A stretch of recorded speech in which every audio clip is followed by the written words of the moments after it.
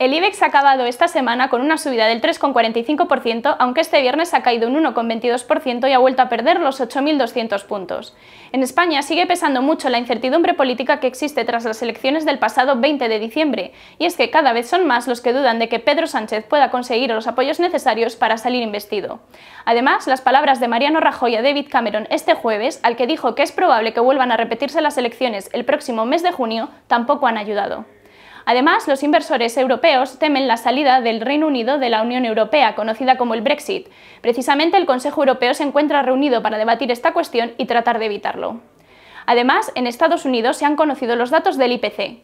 El IPC subyacente, que excluye los alimentos y la energía, ha registrado su mayor subida en cuatro años. Los expertos creen que estos datos presionan a la Fed, que no podrá mantener los tipos bajos durante mucho más tiempo.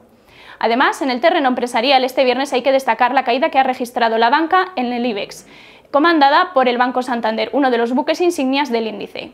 José María Rodríguez, analista técnico de Bolsamanía, ha destacado que la sesión de este viernes nos deja un sabor agridulce y que el rebote no podrá continuar en el tiempo, al menos que el IBEX 35 mantenga el hueco alcista con el que comenzó esta semana. Puede seguir informado en bolsamania.com. Muchas gracias y buen fin de semana.